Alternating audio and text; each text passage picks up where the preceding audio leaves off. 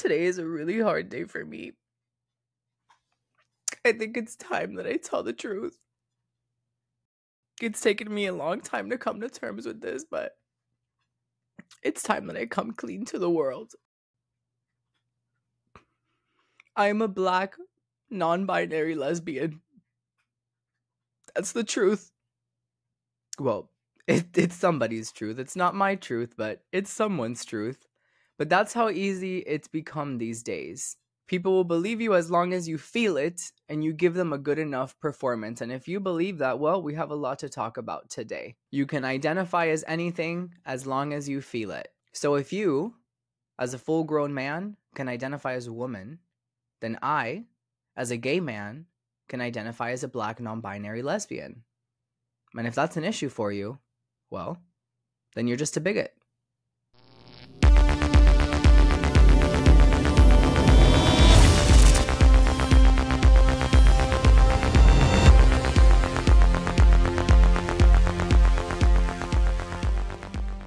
In recent years, I think we've all noticed an influx in people questioning their gender. Your friend Nancy, who used to wear bows in middle school, now sounds like this and is a non binary named Brad. Or your friend Michael, who was a man his whole life, but after seeing people like Dylan Mulvaney get attention for nothing, is now Michelle. We live in a world where it's become both true that gender is real, but also deemed a social construct. Got it? Me neither. Anybody can identify as anything, regardless of whether it's based in science or not. Claim it, and Western society deems it good enough. And let me be clear that's not an overestimation because neo pronouns are a thing. Pronouns like horse, horses. Today I'm going to show you how to use horse, horses, pronouns in sentences. And please remember that someone did request these. And hi to the person that did request these because I know you have been waiting a while. Or rar, rars. Today I'm going to show you how to use rar, rars pronouns in sentences. Rar XD taking on a whole new meaning. Many will argue that if you don't abide by these pronouns, if you don't affirm that it's possible based on feeling to be a horse, then you're an to do. Okay, you cited freedom of speech in that. Why should your right to freedom of speech trump a trans person's right not to be offended? Because in order to be able to think, you have to risk being offensive. I mean, look at the conversation we're having right now. You know, like you're certainly willing to risk offending me in the pursuit of truth. Why should you have the right to do that? It's been rather uncomfortable. Well, I'm, I'm very glad I put you on the spot. well, I'm very glad that I have no, exercised you get my, my point. You get my point. It's like you're, you're doing what you should do, which is digging a bit to see what the hell's going on. So and that you, is what you should do. But you're exercising your freedom of speech to certainly risk offending me. And that's fine. I think more power to you as far as I'm concerned. So you haven't sat there and I'm just trying I'm just trying to work that out. I mean Ha, gotcha. You have got me. You have got me. I'm trying to work that through time. my head. Dress a little feminine as a man, and you're a woman. Drink a lot of beer as a woman, and you're a man. Feel like a horse, then you're a horse. In the age where anyone can be anything, I think it's important to ask a few questions. Would it be okay for me to identify as black? Even though my skin color couldn't be more ghostly, would it be okay if my Ancestry.com said I was 15% black? With my realization that I'm a black non binary lesbian, am I allowed to use the N word?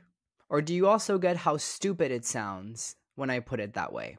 You see, it's all become a delusion. The definition of truth used to be in accordance with fact or reality. Truth is now your truth, my truth, its truth, horse's truth.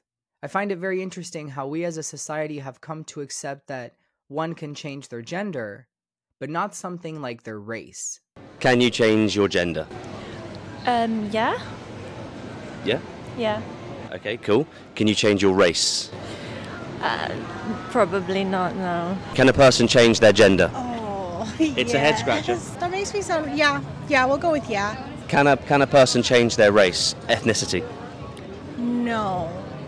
Can you change your gender? Oh, uh, yeah, yeah, definitely. Can you change your race? And when I say race, I mean ethnicity. Um, no, no, you can't, no. It's almost like we have some sort of common sense left over. Now, why can't we apply that backwards? Even when we see someone trying to darken their skin tone or change their hair texture, we can all recognize that that person isn't suddenly black. In fact, it's become a big no no for celebrities or people to change their hair texture, hairstyles, or to tan too excessively. We see it time and time again where celebrities will get canceled for what has come to be known as blackfishing. Whether it's using makeup or tanner to be darker or wearing their hair in braids, it's a scandal. I'm seeing these photos from the campaign, the ones that we took, and people online are saying that I'm doing blackface, but I would never in a million years be disrespectful and do that. But what happens when it's taken a step further? What happens when we start to use words like identify? What happens when we start to base our reality off of what we feel inside? Many, many years ago, a woman named Rachel Dolezal went viral for making some very interesting claims. According to her, she was a black woman and you couldn't tell her any different. The problem with that was that Rachel was a Caucasian woman from Lincoln County, Montana. A woman that spent more than 10 years trying to convince people that she was black so that she could be chapter president of the NAACP. And for a while, she succeeded. Today, civil rights advocate Rachel Dolezal resigned from the NAACP after it was revealed she is a white woman masquerading as an African American. John Blackstone is covering. For years before Rachel Dolezal became president of the Spokane chapter of the NAACP in January, she has been representing herself as black. That's right. The National Association for the Advancement of Colored People headed by a white woman from Montana.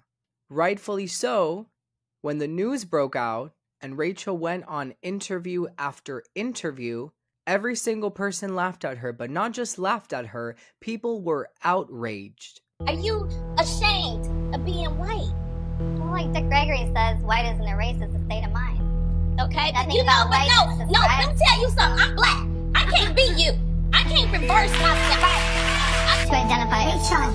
Yeah. Rachel. I think it's kind of hard because you're not black. So when you identify with it, there's a disconnect. You know what I mean? Like you're not, you weren't born black. So when you say you are black, it makes it hard for people to understand where you're coming from. Right, and that's why I said I, I acknowledge I'm yes. I was biologically born white to white parents.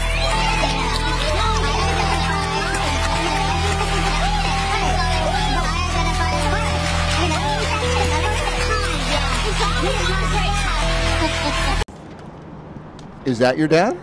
Yeah, that's that's my dad. This man right here is your father? Right there? You have a question about that? Yes, ma'am. Okay. I was wondering if uh, if your dad really is an African American man. That's a very I mean, I don't I don't know what you're implying. Are you African American? I don't I don't understand the question of I did tell you that yes, that's my dad, and he was unable to come in January.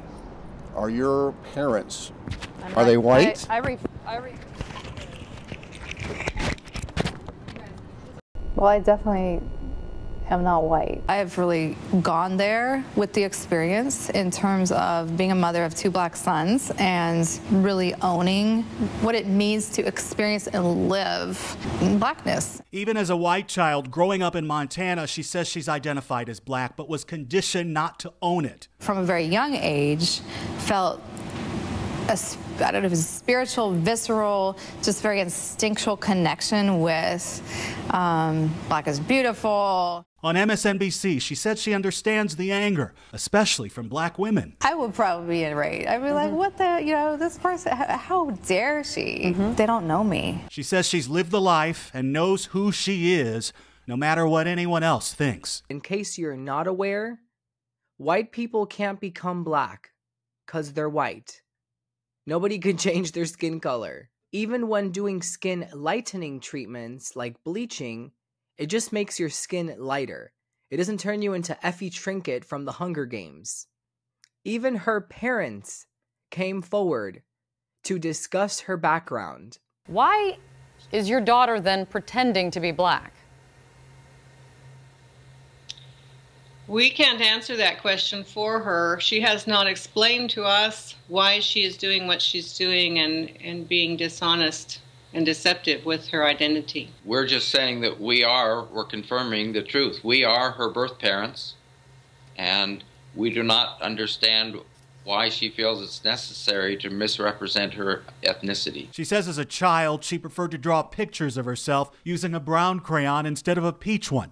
But her parents tonight say that's not true. This did not happen. Not at that early age. This is a fabrication. It's alarming that Rachel continues to make false statements mm-hmm. and have no acknowledgement that she has been doing that and it's become an issue. But regardless of who told her what, including her biological parents, Rachel never let it go. And Rachel insisted that she was trans black. But I do like the term trans black. And I think it's pretty clear why I bring her up. Everybody called her out for being crazy, as fuck. And we all agreed that you couldn't change your race, that you can scrub off your skin tone, and that taking illegal drugs that make your skin darker doesn't make you black. It makes you darker, yes, ask Kim Kardashian, allegedly. Once you understand how Kim and other celebrities achieve this dark of a tan, you may just stop buying the tanning products, bronzers, body makeup, and expensive tanning sessions in order to emulate their look, as these are not the products responsible for celebrities' super dark tans. Take a look at how tan Kim looks in this recent Keeping Up reunion show. Kim allegedly uses tanning injections. Yep, you heard me right. Tanning injections. The name of the substance she uses is called melanotan 2. Melanotan 2 is an injectable peptide that mimics melanocyte stimulating hormone in your body. The hormone binds melanocortin receptors and stimulates the production of the pigment melanin in your skin cells. Of course, the more melanin you have, the darker your skin appears. So, in layman's terms, this is a substance that goes into your body and encourages your cells to produce more of the pigment melanin, which will allow your skin to react to the sun in a way that produces a darker tan than if you didn't use the substance at all. But it doesn't make you black. It makes you a really sad, self hating white woman who is being choked by her own white guilt. Let it go, y'all. Let the white guilt go. You can't help it that you were born white. You can't help it that 200 years ago, your ancestors were slaveholders, if that even is your history. Stop letting people convince you to hate yourself and stop pretending like a man who cut off his genitals is a woman. You may be comfortable calling said individual a trans woman, and as a libertarian, I believe in your right to do that, but that's not a woman. Nor am I any more of a woman because I am a gay man with a higher pitched voice than a straight man. But some of us have fallen for that. We all agree that taking drugs that make you darker doesn't make you black. But some of y'all insist that a man taking estrogen is a woman. Do you see the correlation? We are all much smarter than this, and pretending like the sky is purple is only going to make it more difficult for us to study gender dysphoria, what is said to cause transgenderism. If we all accept the facts of life, accept the fact that there are only two genders, male and female, and that there is no in between, then we can find other medical ways to alleviate gender dysphoria. Ways that don't include genital mutilation. But we can do that. If people like Dylan Mulvaney are pretending like they're on their 100th day of girlhood instead of acknowledging the truth. And that's objective truth. Not your truth, not my truth, the truth.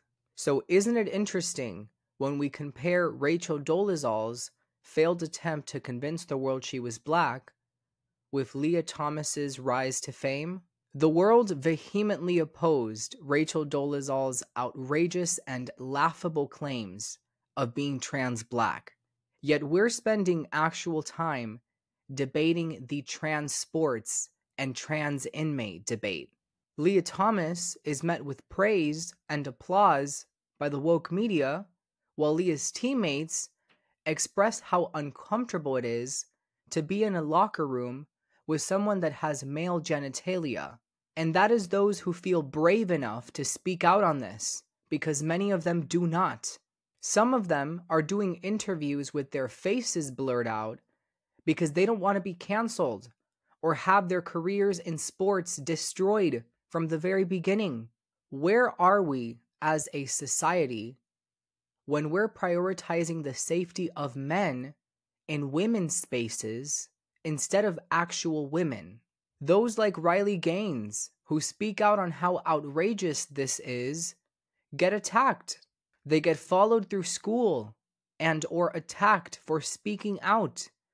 And the world allows it. Trans rights are human rights! Trans rights are human rights!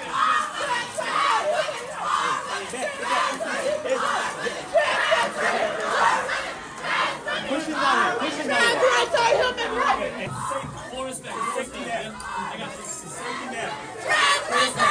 rights! You crying? We ridicule and make fun of the Rachel Dolezals of the world. But the man in the red lipstick, that's a no brainer. Feelings are not facts. And one of the biggest reasons why the gender conversation is becoming so big is because of the self ID problem. We talked about this in my interview with Shapeshifter and my interview with Brianna Ivy. But self ID is pretty much exactly what it is self identifying yourself. Instead of going through a medical professional who is actually going to give you a diagnosis, you just say, Well, these are my feelings. This is how I feel. I identify as this. That's what self ID is. That's how easy it is. It's all about living your truth. But I can assure you, you don't need to live your truth. You need a good therapist.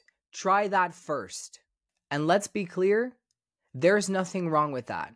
There's nothing wrong with going and getting yourself a little help. But before you get caught in a delusion, in something that is permanent, genital removal is permanent. There are permanent effects to taking hormone blockers. There are. There are permanent effects to taking estrogen and testosterone. So, before claiming a permanent delusion that might not be right for you, let's get yourself a professional. Someone who can walk you through this. We've allowed people to assume the positions of medical professionals, and it's wrong. It is very obviously causing issues. I think we've all fallen down a WebMD hole when we get a persistent cough. But rarely do any of us go to the doctor and ask them to affirm us in our diagnosis of throat cancer. Because that would be crazy, right? Yet Brianna told me in our interview that within 30 minutes, hormones had already been prescribed, with a road to genital removal. All it takes is a claim, and you're on your way.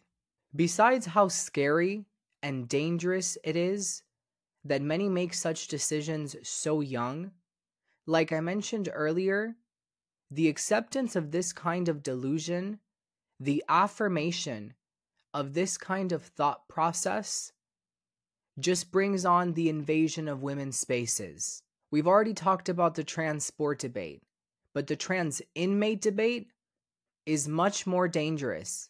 This is already starting to happen. If you can self ID as transgender, you open the doors to a lot of unwanted things. If we become the medical professional, then stories like this are going to become impossible to avoid. Trans inmates being held in women's facilities and impregnating them. We already know what happens in men's prisons, women's prisons, which is why they are split, because the federal government doesn't want to become a daycare.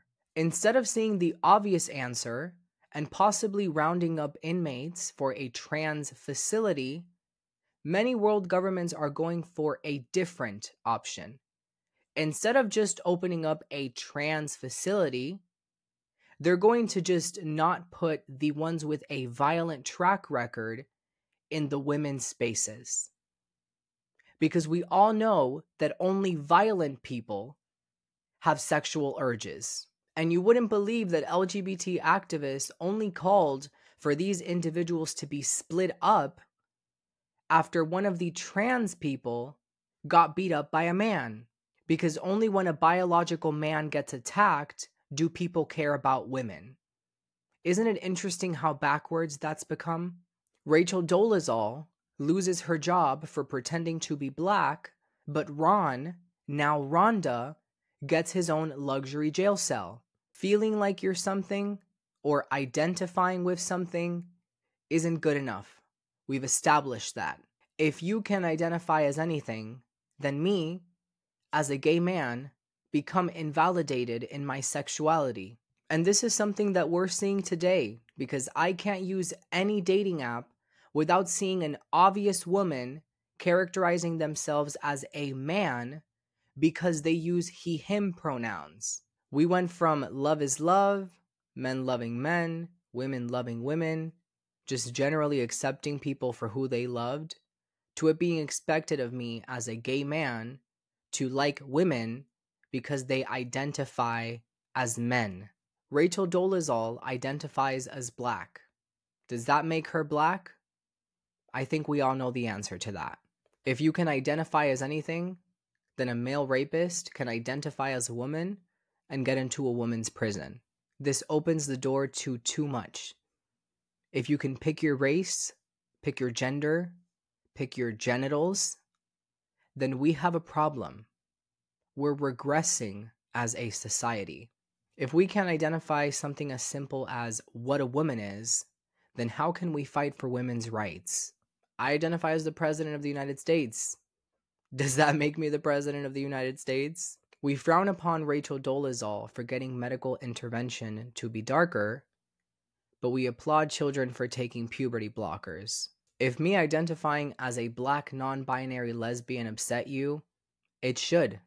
And I'm hoping that it pokes holes in the gender ideology conversation for you and you start to see how ridiculous that is. You can be a trans man and you can be a trans woman, but you are not a man and you are not a woman. Biology is biology.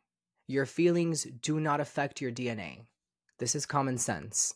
Stop trying to convince yourself that you can shove a square in a triangle shaped hole. Rachel Dolezal was ahead of her time because had she made the claim she made in 2015 and 2024, she probably would have gotten away with it. And if you find that far fetched, let's recognize how quickly this gender conversation has escalated. If you can convince yourself that Dylan Mulvaney is a woman, then you should believe me when I say that I'm a black non binary lesbian. All right, y'all, over and out. If you like today's video, go ahead and give me a thumbs up, affirm my identity in the comments, subscribe if you haven't already, and I will see you on the next one.